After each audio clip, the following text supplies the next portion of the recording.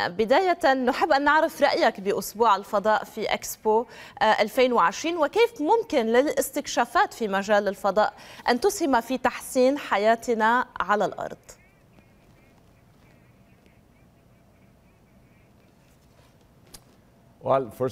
بداية أنا مندهل جدا لكل هذا المعرض لتنظيم هذا المعرض في دبي. إنه رائع جدا ويسرني جدا أن يكون هناك تخصيص أسبوع بالكامل للفضاء. وطبعا نحن ما نقوم به هو أننا نجمع العالم كله ونستخدم الأدوات الموجودة لمساعدتنا في وضع حياة مستدامة أكثر. أنتم سيد كريستر أول يعني رائد فضاء سويدي تصل إلى الفضاء بعام 2006 كيف تقارن مشهد الفضاء وال يعني الرحلات إلى الفضاء حينها والآن إلى أي مدى اختلف هذا المشهد؟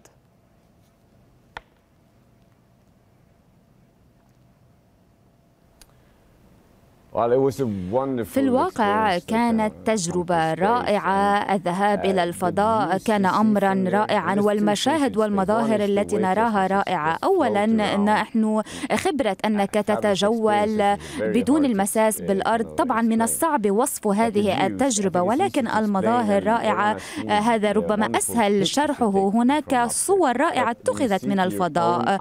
وأن لكن أن ترى بعينيك بأم عينيك هو أمر رائع هذه طبعا المناظر الرائعة الذي يجب أن نعتني بها معا.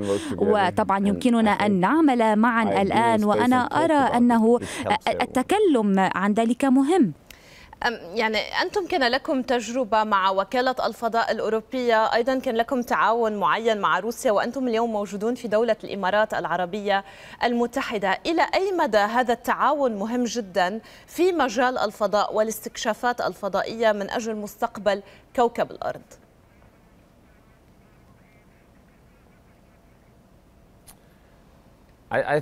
أنا برأيي أنه من المهم جدا أن نعمل معا ونتعاون معا بشكل متزايد في مجال الفضاء وأن ربما نضع خطط للذهاب معا ربما إلى القمر أو المريخ. وطبعا نحن نقوم بالأمور بشكل أفضل إذا ما عملنا معا. طبعا هناك نوع من التنافس الودود وهناك منحى للتقدم بشكل سريع في في في مجال هذا التنافس. ولكن العمل معا والمشاركة عده دول في استكشاف الفضاء أمر بغايه الأهمية. وأنا طبعا مندهش لطريقة قيام الإمارات العربية المتحدة طبعا بهذه الأمور. وهي قامت بالكثير بالنظر إلى أنها نسبيا دولة صغيرة. قامت بالكثير في مجال الفضاء وإرسال البعثات الاستكشافية كما شهدنا في في المريخ أو مهمة المريخ وآمل أن تقوم مزيد من الدول بحذو حذو الإمارات والعمل معا.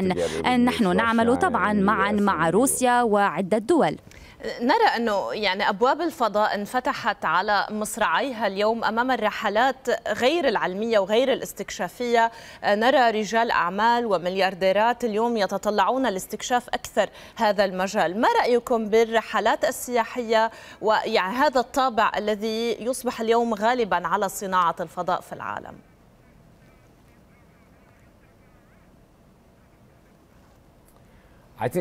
برأيي أن ما يحدث الآن هو طبعا رائع جدا ومذهل. من المهم طبعا بالنسبة لمستقبل الحياة البشرية أن طبعا نقوم بذلك لأنه لا يمكن الاعتماد على الأموال الحكومية فقط من أجل إجراء بعثات إلى الفضاء.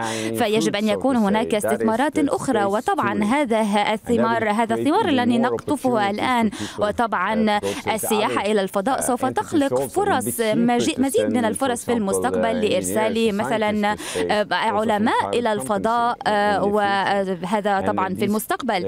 وأرى أن هذا طبعا يمكن تحقيقه من خلال شركات خاصة ربما وهذا أمر يفسح المجال لمزيد من البعثات. البعض قد يترددون إزاء طبعا هذه الرحلات السياحية. في بعض الحالات طبعا ربما لا أتكلم عن إيلون ماسك ولكن ولكن هناك الكثير من الأموال التي تنفق في هذا المجال ولكن ثمة الكثير من الأشخاص لديهم الرؤية للذهاب إلى المريخ أو إلى الفضاء وهنا يجب أن نضع الأموال ونستفيد من هذه الأموال التي تنفق في هذا المجال.